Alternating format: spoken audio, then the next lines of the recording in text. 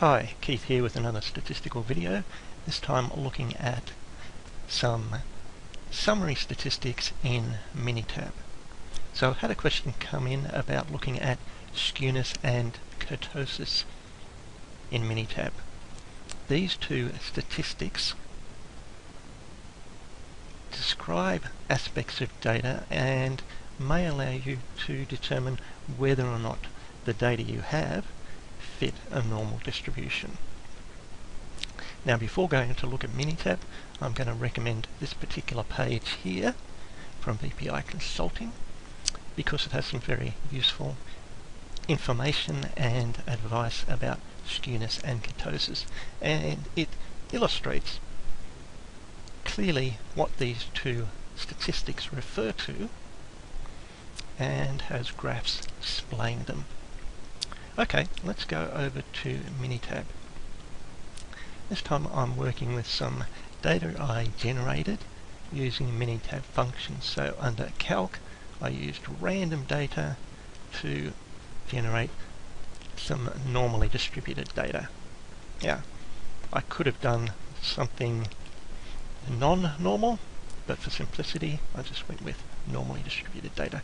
And then of course I used the calculator to get the data I'm going to work with. So I've got two groups here, each group has 50 observations in it, and that gives me plenty of numbers to graph.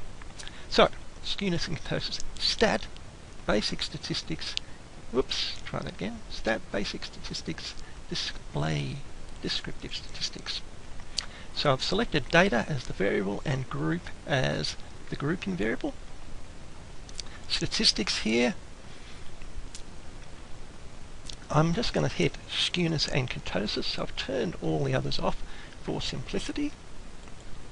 And then going over to the graphs option here, and I'm going to have histogram with normal curve and also a box plot. Okay.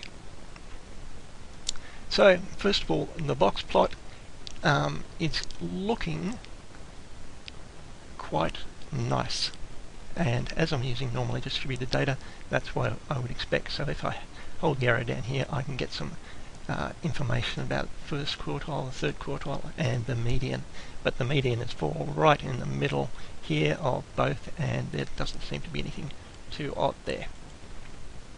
Let's have a look at the histogram. So just by going through some statistics I can get Minitab to drop a histogram of the data separated here by group 1 and group 2. I've got the mean and standard deviations there and it's plotting on a normal curve. So neither of these distributions is either skewed or showing a problem with kurtosis and indeed the standard deviation coming out at about 10 is what I used when I was setting up the data and the difference between the two here is about 50 over here to the statistics themselves. Uh, for group 1 and group 2 you can read in skewness and kurtosis. And that's pretty much all there is to it. For information on interpreting those statistics, I refer you back to that web page I pointed to earlier. Hope that's useful.